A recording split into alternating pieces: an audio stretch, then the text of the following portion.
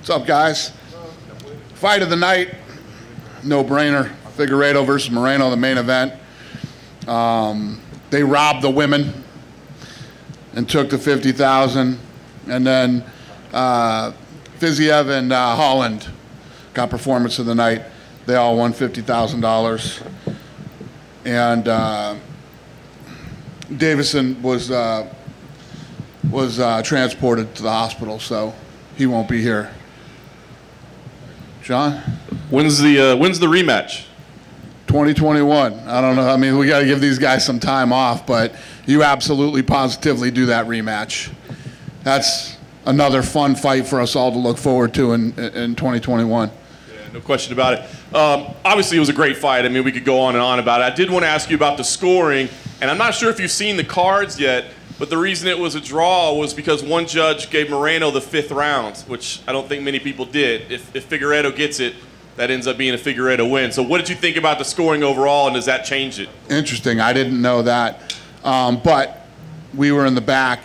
I, I, went back halfway through the fight, and we were sitting back there saying this this could definitely end up being a draw with the uh, when they took the point. But I didn't know that somebody gave him the last round. So I say, man, you, you never know with these judges. You never know. Uh, what did you think about the point deduction? Obviously, that's being debated right now. It, it obviously factored into the result of the fight. What did you think about it? what the ref said was it was the third foul.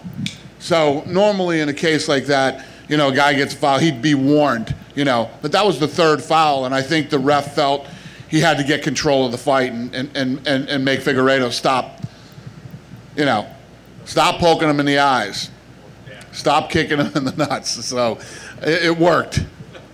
Um, I, I, didn't get to hear it, but I was looking at online reports. It seems like Deiveson said that he was in the hospital until 2 a.m. this morning. I'm assuming you were aware of that. What, what, what, what can you tell us about that, especially knowing that we won't get to ask him about it? Yeah, um, yeah, he did. He, you know, he had some. Uh, he didn't feel good in the middle of the night last night, so he went to the hospital. What's going through your mind when your main event's in the hospital the night before? I mean, is this 2020? Yeah, after this year, man. I just, good luck. Good luck. You know, getting me to to flinch at anything. But uh, yeah, you know th- these things happen sometimes, and especially this year. So, but he went in, he got taken care of, and. I was gonna say, were we, in, were we in danger of losing it? I mean, was it that close to the? the Anytime a guy goes to the hospital, you're in danger. Obviously, we we gave him, you know, do you want to fight or do you not want to fight? It's up to you. He was obviously cleared medically to fight, but he had the option to, to fight or not fight, and he wanted to fight. Got to ask you about Charles Oliveira's performance in the co-main event as well. I mean, obviously the guy's grown up in front of our eyes here in front of the UFC. What did you think about his performance this evening? Yeah, he looked incredible, man. And and uh, you know there were some debates going into that fight. I I, I thought we were going to see the old Tony. You know, I thought that the last fight uh, he was affected by weight cutting, and uh, we, we were going to see you know. I mean, 10 out of 10 people tapped to that armbar the fact that he even made it through the arm bars is unbelievable and just a testament to how tough and durable and crazy Tony Ferguson is. Clearly, you got another contender at lightweight. I mean, he's, he wants, a, he wants a, a title fight potentially next. But I wanted to ask you we saw the 257 lineup on the broadcast tonight. Um, there have been rumblings of maybe Gaethje and Chandler on that same card. Um, we didn't see it tonight obviously that would impact the lightweight division as well. Can you give us any update on that? Is that fight happening or what's going on with it? Yeah, uh, listen, um, this is the last pay per view of the year. I'm going on vacation tomorrow. I'm, I'm, when I get home, we'll get all this stuff squared away and get everything done. Do you think that Oliveira now, though, is part of that conversation? Any title fight discussions that you have? I mean, he's in there. The rankings are coming out on Tuesday, so we'll we'll see where he ends up in the rankings. And without a doubt, no matter what, I mean, the guy's one of the best in the world right now, in the nastiest division in the sport. So, yeah. A couple other quick ones for me. Kevin Holland, man, we've never seen anything like that. That was absolutely amazing. Can you just talk about Kevin Holland's win and where do you see that guy going? I mean, this has been a heck of a year for him. Yeah, fought five times this year. Um, destroyed Jacare from his back and was, was handling his own on the ground with him. And, you know, very, very impressive. I was blown away with him tonight, and, and, and I'm really happy for him.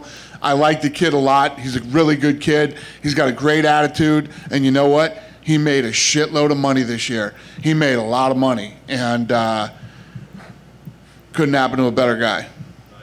Last thing for me, obviously, you know, everybody's talking about the roster moves, right? The, the things that you got to do before the end of the year. I'm curious, names like Jacare, names like Junior Dos Santos, you know, guys that are kind of, you know, established former champions but are on losing streaks. Would you look at those two guys as names that are potentially on the chopping block? I mean, that's that, I mean, that's every weekend. I mean, we- we- we'll be talking about this next weekend too, after the fights. It's just it's part of the sport. And yeah, I mean, I, I- think over the next, uh, you know, between last year and, and, and next year, you're going to see a lot of the, the, the old big names, you know, moving on and retiring. So Dana, not talking about his contract status, but that's four losses in a row for Junior and four by being knocked out. Do you think maybe it's time he starts looking at his future in fighting in general? I do. Yep. With uh, Fiziev earlier today got us a beat Moicano. He looks very exciting, a great addition to the roster, but um, um, great to see where he goes in the roster. Did you think that was a fair stoppage? There's some talk that maybe Moicano is still in the fight and could. So, when we're shooting a fight, okay, and this has happened to us before, it drives me friggin' nuts. So, he's on top of him, hits him with that beautiful three punch combination, gets on top of him, and the ref stops the fight, right? As soon as the ref stops the fight, he starts arguing with him, right? So, sometimes what our guys will do, they pan away and they go to the guy who won. He's celebrating and whatever. And you don't see him try to stand up and and fall back down. Moicano was done. He could not get up. He couldn't walk. And he was stumbling all over the place trying to stand up. And the production stayed on it. So the fans see that, so nobody's at home going, that was a bullshit stoppage. That, that was stopped too soon. There's no way that fight was stopped too soon. That was a beautiful stoppage by the ref and an unbelievable combination uh, that he threw to win the fight. You, you mentioned that you thought you were going to see the old Tony Ferguson. Um, you know, it's two losses in a row. It's not the most, but is it possible that the old Tony Ferguson is no longer and that Tony's now on a decline? I, yeah, of course that's possible. Um, but Tony, Tony needs to go home and spend the holidays with his family, take some time off, and think about what he wants to do next year. And uh, you know, we'll, we'll see what's next for him. But yes, that's every time you fight, every, you know, in this business, that's always possible. And last thing from me, if you could put it into a word or into a feeling, how relieved are you that this year is over? Yeah, it's funny because every time we've been talking through this year, I've been telling you, you know, I can't wait for this year to be over. I can't wait for this year to be over. But, you know, I, I don't know what I expected for 2021, but it doesn't look like it's going to be any different. It's going to be a lot of the same shit next year. Um, but this year was, was a great year for us, man. We had, we had a great year, great fights. Business has never been better. Um, you know, I, I did an interview the other day with Dan Wetzel and walked through the business with him, and basically our business is up. We broke records this year in almost every category except live gate. Um, so 2020 was a horrible year in many ways, you know, for all of us personally and professionally, but it was a great year for the UFC. Just a, a follow up on that. Knowing that 2021 is probably going to be full of shit as well, is it still a relief and a sense of pride that you can start the year off with a pay per view with Conor McGregor, which will essentially kickstart the year just like this year? It's like, what, what better way could you start the year? Yeah, no, it's, uh, and, and you look at the fights that we have lined up. You look at the the roster of young up and coming talent that we have. But first fight in Jacksonville, Florida, when no other sports were going, we had Ferguson versus Gaethje. You, you know, it's just.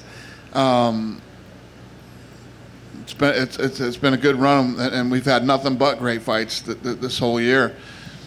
Um, yeah, no, I don't, I don't, I don't know.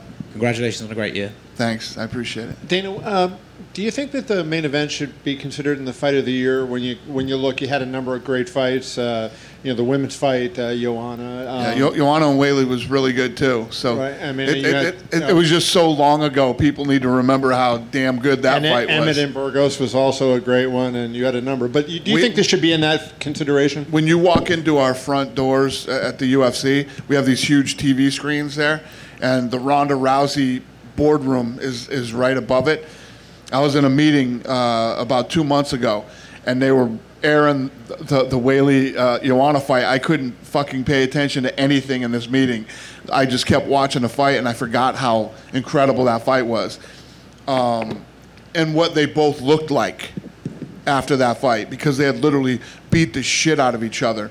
Um, but yeah, this fight and, and that fight are, yeah, And I wonder, you know, uh, Figueiredo's such a strong guy and everything, and you know, the, I, I texted you during the fight about how Moreno was, you know, and I wonder if you could just comment on the the heart that he showed. I mean, it seems like physically he's outgunned in that fight, and he's getting hit by some shots that would knock over a horse, and he's coming back and and, and putting it on uh, on Figueredo. to the body, to the head.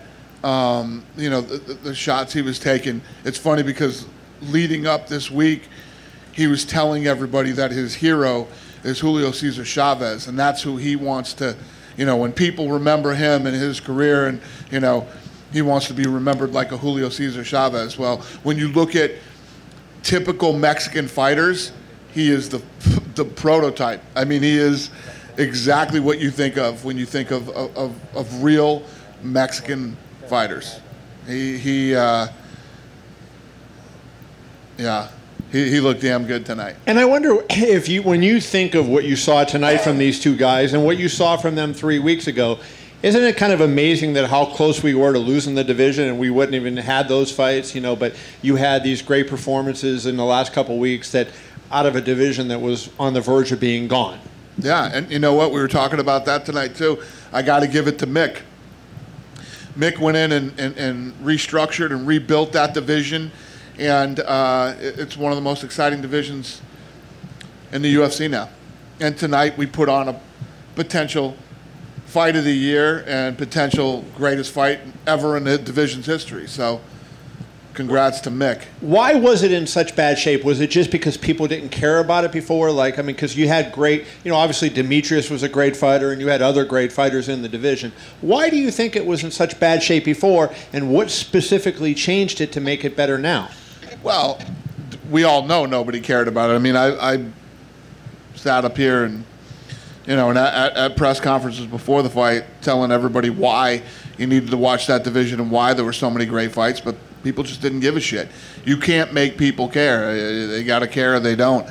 Um, Mick had some ideas. He wanted to go in and make some tweaks in the division. He did it, and uh, here we are today. You share any of the tweaks?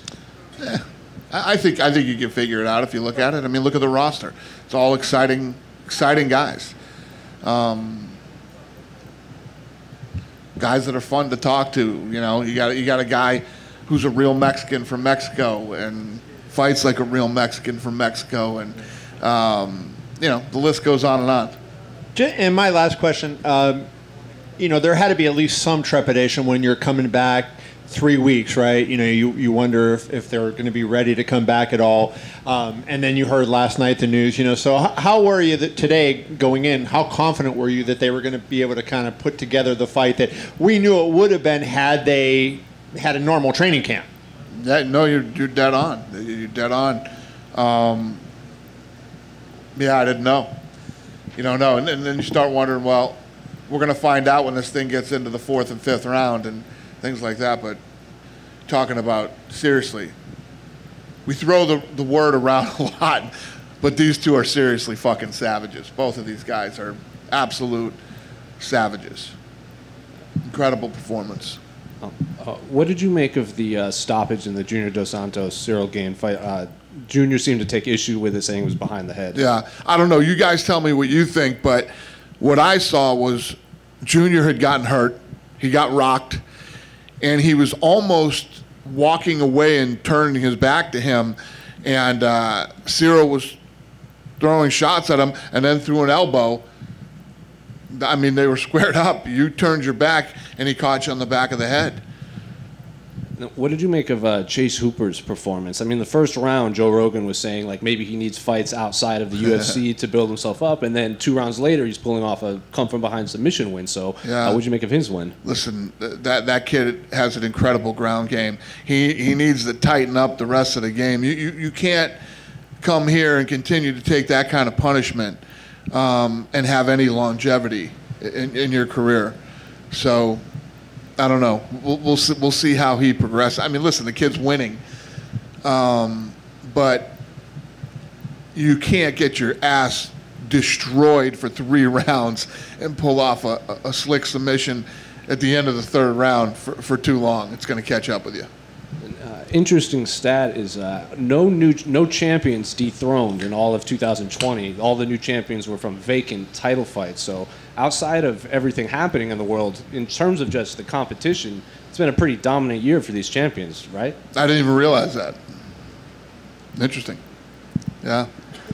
It's been a fun year of fights considering, you know, everything being shut down and, you know, all the stuff that we went through this year. It's, it's, it's been a fun year of fights. It's been some good stuff, and there's been a lot of young talent that has emerged this year. Dana over here. Since this is the last time we'll talk to you for the year, I want to know if they told you, Dana, at the beginning of the year, you're not going to be doing any traveling, but you're going to get this thing called Fight Island in Abu Dhabi, what would you have said? Uh, listen, if you'd have told me that, that Las Vegas was going to shut down and casinos wouldn't be open, and, you know, I, I, I would never believe this in a million years. Um, so to think about it, you know, anything else with the business, I, I just I couldn't imagine a day where companies were shut down, where sports wouldn't happen, Disneyland wouldn't be open, you know, shit like that. Wouldn't believe it. The first fight, when everything started going on, everyone was kind of holding on, like, hey, just anything can happen, but Tony versus Khabib in Brooklyn, somehow it gets salvaged. We know in the end it just didn't seem to be meant to be. You've been president a long time. Big fights have fallen apart. Is there any particular extra sting, I guess, that the Tony Khabib fight that everyone wanted just didn't seem to happen? No, no, it, it, it, doesn't. Um, it just didn't. I mean, it wasn't from lack of trying. I mean, we, we, we put that fight together five times. It just, uh, you know, it just wasn't wasn't meant to be. I don't think about it at all. I'm assuming this might be a, you know, when you get back from vacation. We know that you've talked about the heavyweights in March. We know Conor's in January. Is there any targeted champion who you want to headline the February pay per view? Yeah, I don't know. I'm not even thinking about that right now. I'm not thinking about anything. I, tonight was our last pay per view of the year, and I just I just wanted to get through this. And uh, you know, put 2020 in the in the rearview mirror, and then we'll. I mean, you guys know. You can tell how next year's uh, shaping up. We've got awesome fights next year, so. I don't know how the rest of the world is going to be, and, and, and I've already sort of set my mind. I'm in a place where I don't give a shit what goes on with the rest of the world. I don't care. This is the only world that I have to focus on and think about and uh, take care of my people, my family, and whatever else goes on.